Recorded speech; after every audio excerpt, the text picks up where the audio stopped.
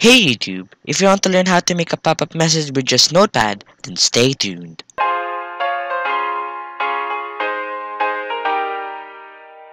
Hey YouTube, today I'm gonna teach you how to make a pop-up message with just Notepad. Now the message is just one line. The code is in the description below. Now the code is x equals message box and you're gonna type the text. So let's put in a virus has been detected in your PC. You can put anything what you'd like here. Now you're gonna put a code and comma. Now there are some combinations which what you can do. So the most basic combination is 0 plus 16. Now this is the OK button and this is the critical icon. Now after that you're gonna put the title. So let's put in virus detected.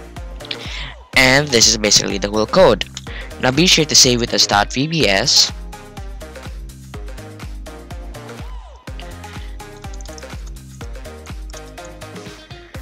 and test it out. As you can see that it appears.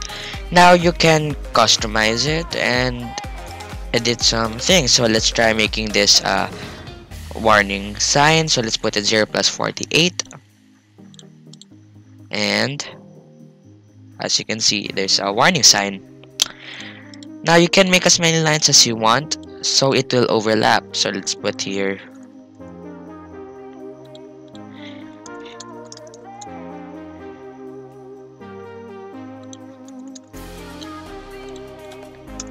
and there. So uh, as you can click see when you click it.